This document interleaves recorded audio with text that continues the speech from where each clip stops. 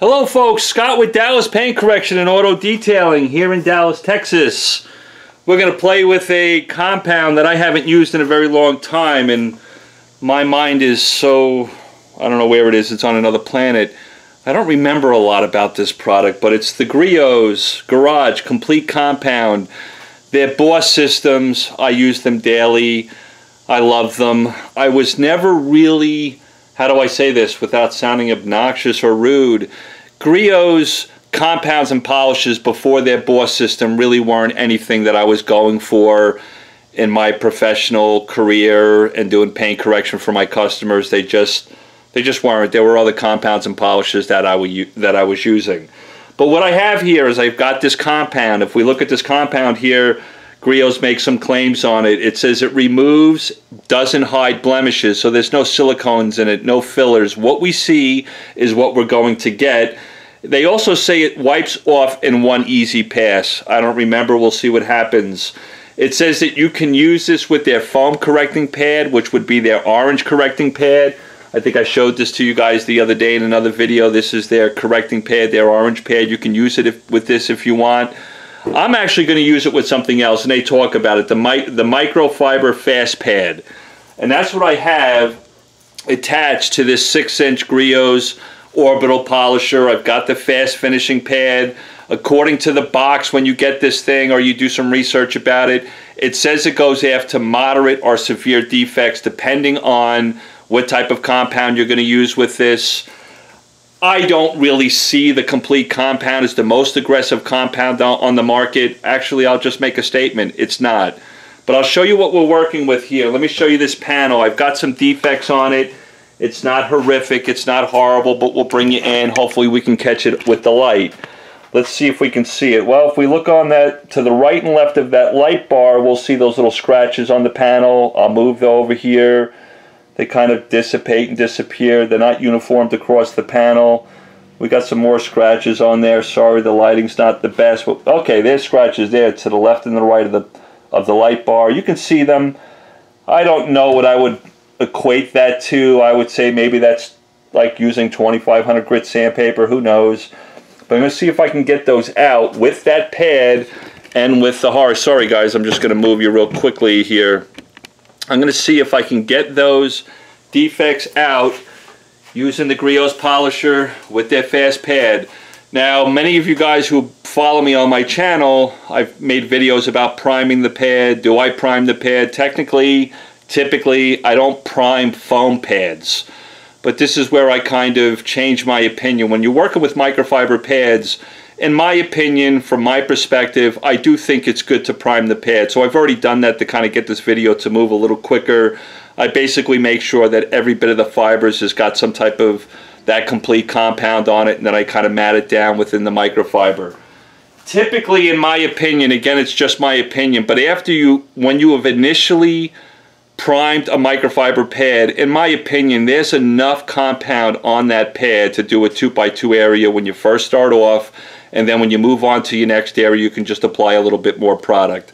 But I'll I've primed the pad. I'm just going to put a little bit more product on here. So I've got I guess some guys call it their working product. I'll do it but I won't put a lot on there. I'll just put a little bit let me put a little bit on there. Put three little dots on it. That's about it. That's all I'm going to put on there. Because the pad is already primed. Okay I'm going to damp this thing out.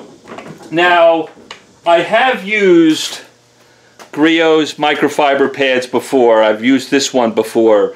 This one's a little bit thicker than like Meguiar's. Kind of nice when you're working on contours and you want that microfiber pad to kind of roll across some contours. It's nice when it's thick like this. In my professional opinion, when I'm really trying to go after deep defects, I like the Meguiar's cutting pads. They're a little, well, they're quite thinner than this. That also translate that more power from the polisher can get to the face of the pad. Yes, the Meguiar's, because they're thinner, they're not so forgiving on contours. That's kind of an added bonus with this. But I think Meguiar's cutting pads just work better for me, get me deeper defect removal. You guys have to decide whether or not that works in your world, but I just wanted to bring up that point.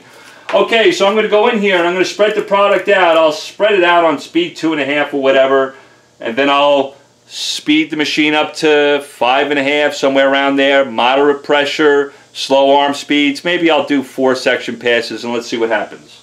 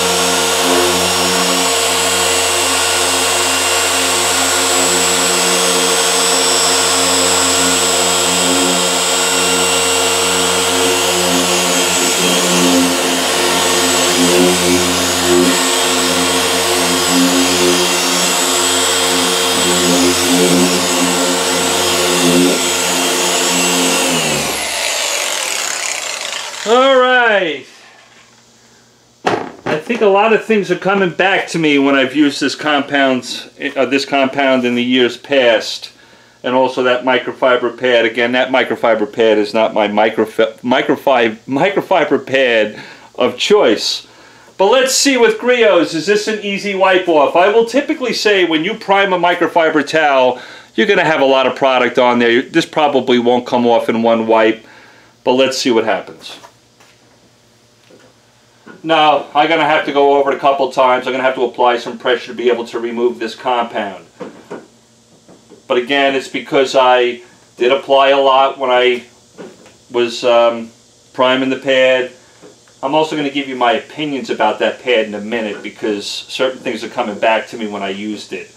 Okay, so what did I do? Four section passes maybe, real low, small, real slow arm speeds, moderate pressure, had that back plate spinning in the sweet spot. You notice towards the end I picked up my arm speed. I do that to kind of restore shining gloss. It's a little bit of a trick. You guys will learn that as you go on, or maybe you guys know it already. That's kind of cool. But anyway, let's see what that pad and compound did for the surface of this paint. So if I come in here, let's see that light bar. Not, not bad. It, it, it did a pretty nice job, even just doing maybe three or four passes with moderate pressure. Maybe some of you guys would do six section passes, eight section passes. I will tell you something, when you get into paint correction on a professional level and you're working for people who own daily drivers, you're going to want to find stuff that doesn't require you to do six or eight section passes. It's just my opinion, take it or leave it. We want to be profitable, we want to meet our customers' expectations, but sometimes the way, I'm going to shut up right there and leave it alone. But there you go. If we look at that light bar, a lot of those defects were removed from the first time that we looked at it. I think it did well. I think it did a pretty good job. Oh, there's some defects down there that didn't get out. I don't know if I came all the way down this low. I think I did. But what do I think of this compound? Well, what I remember from years ago, and it's kind of coming back to me, it's a great compound if you want to do a one step, a true one step, and you're not working in direct sunlight, you're not working on a hot panel, because this stuff can get finicky on you with a hot panel and working in direct sunlight. I would not recommend using it that way. Again, I'm mobile, sometimes I have no choice.